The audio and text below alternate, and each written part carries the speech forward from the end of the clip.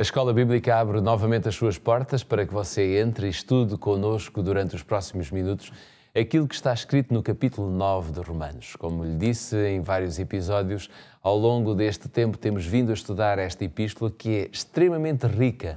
Paulo, hum, enfim, não é apenas um bom escritor, ele recebeu de Deus muita informação, muitas ideias que nós temos que as aprender e temos que as colocar em prática. E por isso mesmo temos vindo a gastar o nosso tempo, espero eu, da sua parte também, um tempo bastante útil para que a nossa edificação espiritual possa ser cada vez mais constante e mais próxima do projeto de Deus. Para nos ajudar diariamente, temos o pastor Pedro Esteves. Olá, Pedro. Olá, Voltamos a estar juntos aqui na Escola Bíblica e vamos abrir a palavra de Deus. Mas antes, qual é o sumário de hoje? Verdade. E vamos continuar na palavra de Deus, no capítulo 9 de Romanos. Hoje, para continuarmos, aliás, a analisar como a vontade de Deus, que é uma vontade soberana, é, é, é ao mesmo tempo ou é conciliável com as escolhas que cada indivíduo faz. Uhum. Vamos ver tudo isso nos próximos minutos, mas antes convido a abrir a sua Bíblia, se a tiver, ou então a seguir a nossa leitura. Ela será feita a partir de Romanos capítulo 9, para lermos os versículos 18, 19, 20 e 21. Vamos então abrir a nossa Bíblia, ler aquilo que está escrito, logo pois, compadece de quem quer e endurece a quem quer. Dir-me-ás então, porque se queixa ele ainda? Porquanto quem resiste à sua vontade. Mas, ó homem, quem és tu que a Deus replicas? Porventura, a coisa formada dirá ao que a formou: Por que me fizeste assim?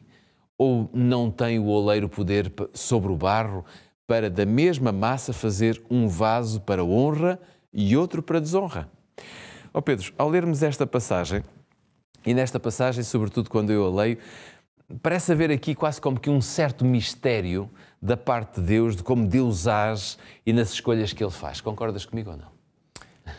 Ou que, haverá um, que há mistério na maneira como Deus age. Para, os, para nós, como seres criados e cri, criaturas de Deus, forçosamente uhum. há mistério. Uhum. Isto não quer dizer que nós, que somos seres por Deus, aliás, dotados de inteligência e capacidade de razão, eh, nós buscamos compreender eh, até aquilo que nos é impossível de compreender. Uhum. Portanto, eh, há mistério, sem dúvida, mas acredito que há resposta.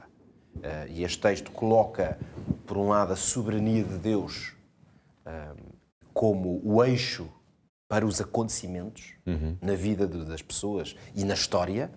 E aqui mesmo o apóstolo, claro, está a fazer também referência a, a, a escolhas feitas por Deus no passado, na história uhum. de Israel. E por isso eu digo, a soberania de Deus é o eixo principal. Claro é preciso confiar nisso. Mas a verdade é que talvez um ponto de partida seja aquilo que o profeta Isaías nos diz, eh, um texto, aliás, que nós trazemos aqui para, para a nossa reflexão, eh, apenas para memória, porque é um texto muito conhecido, com certeza, da maioria dos que, nos, dos que estão uhum. connosco. Eh, e o Senhor é Ele que diz, através do profeta, os meus pensamentos não são os vossos pensamentos, nem os vossos caminhos os meus caminhos, diz o Senhor, porque assim como os céus são mais altos do que a terra, Assim são os meus caminhos mais altos do que os vossos caminhos e os meus pensamentos mais altos que os vossos pensamentos. Uhum.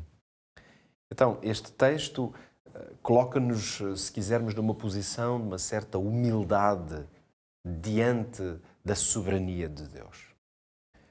Revelando, de certa forma, revelando-nos que o que está em causa não é o facto de que Deus faça escolhas arbitrárias ou usa a sua vontade como uma espécie de Deus tirano, está em causa e é isto, que nós não somos muitas vezes capazes de compreender a vontade de Deus. É por isso que eu considero que, antes de avançarmos nesta reflexão, um, ponto de partida importante para compreender algumas destas afirmações de Paulo é de que há uma distância muito grande entre aquilo que nós somos capazes de compreender e aquilo que Deus faz.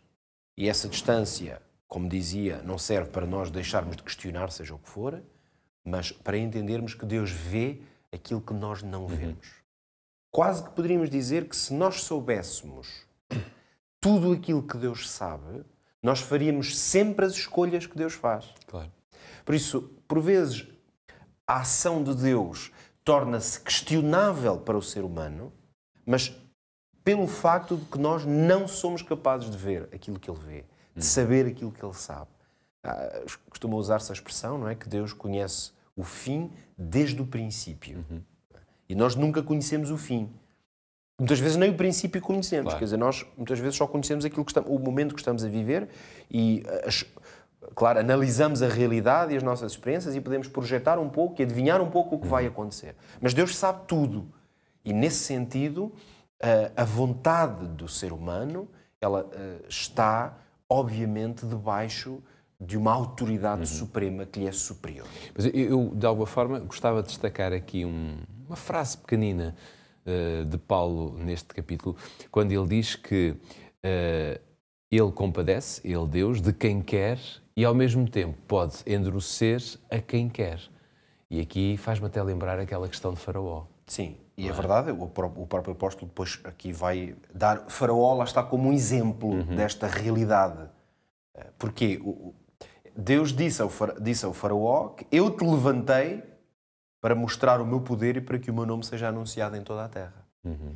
O que quer dizer que, vamos entender isto, a leitura que poderia fazer, ser feita disto é acreditar fielmente no que está, ou mesmo a duvidar, quem quisesse claro. pôr em causa, seria dizer, bom, nesse caso então o faraó não tinha livre-arbítrio, o faraó não tinha capacidade de escolha.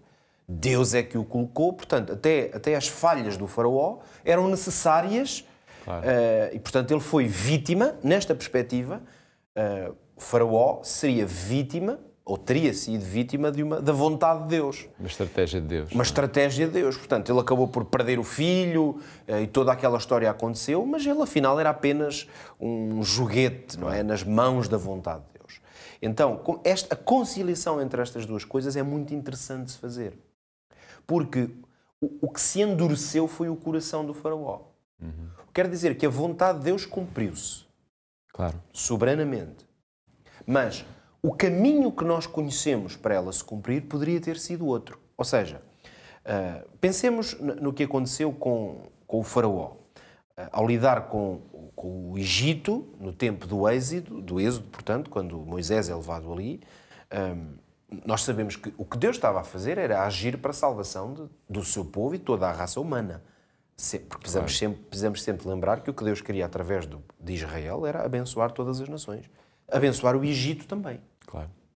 Logo, um, quando nós vemos, por exemplo, as pragas a revelar-se no Egito, tal como a história nos narra, um, estas pragas tinham como objetivo também revelar ao, aos egípcios, nomeadamente ao, ao faraó, que Deus estava no controle. O Deus de Israel, se quisermos, o Deus eu sou. Claro. Porque o Deus muito acima de nós. Este Deus que está acima de nós, é? esse Deus que Moisés até nem sabia como é que havia de apresentar, e foi o próprio Deus que lhe disse: Diz ao Faraó que o Deus eu sou, o que sou, é que te envia.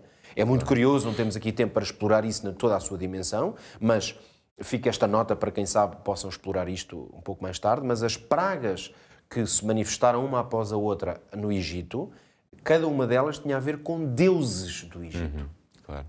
Uh, e esses e esse, esse, atentado de Deus sobre aqueles elementos uh, que tinham uh, relação com as, as, várias divindades foram uma forma de Deus mostrar ao faraó em particular e a todo o povo egípcio que o Deus vivo, o Deus eu sou, na verdade, dominava aqueles chamados que era o único deuses. Deus. Era o único Deus. Porque era é o único, único Deus. verdadeiro Deus. Claro. O que quer dizer que o faraó podia perfeitamente ter observado aquela realidade e tomado uma conclusão.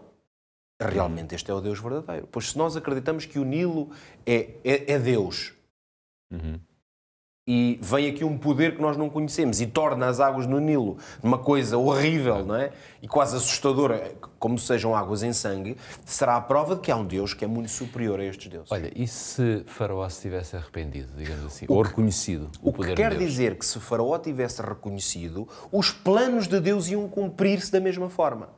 Por isso, quando o apóstolo diz que Deus, se quiser, endurece o coração, é no sentido que os planos de Deus executam -se sempre. Uhum. Aliás, lembremos, e terminamos com isto, Nabucodonosor, ou o que aconteceu em Ninive quando Jonas levou uma mensagem de destruição. O que é que uhum. aconteceu? Os homens inclusive as autoridades de Ninive, o que é que fizeram? Arrependeram-se. Tanto que Jonas até ficou. O Jonas, neste Bem caso, é que ficou aborrecido, claro. porque ele pensou que eles nunca se arrependiam e, portanto, Deus destruiu-os. Nesse caso, o que é que diríamos? Que Deus endureceu o coração dos ninivitas? Não, que Deus enviou-lhes uma mensagem. Se o coração deles tivesse endurecido, o plano de Deus ia executar-se uhum. e eles seriam destruídos. temos menos de 10 segundos para o aprender fazendo. Por vezes nós também vivemos situações aflitivas e difíceis de compreender, mas, sobretudo, devemos destacar a soberania de Deus e aprendermos a confiar que Deus está a fazer por nós mais e melhor do que nós podemos compreender. Por hoje está tudo dito, mas não fica por aqui. Amanhã, no nosso próximo episódio, estaremos de novo consigo para mais 10 minutos de estudo da Bíblia. Contamos com a sua presença na Escola Bíblica. Até lá.